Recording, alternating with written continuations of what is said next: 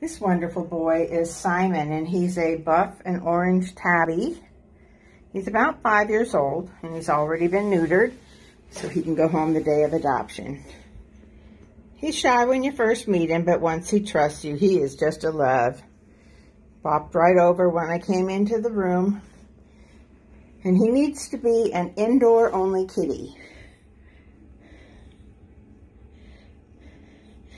I'm sure he was on his own on the streets because he came in with a pretty greasy tail, been working trying to get some of that gunk off.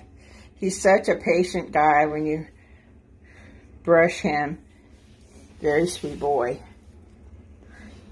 He's got those big tomcat cheeks. There you go. He's just a love and looks forward to being adopted into a quiet, loving home.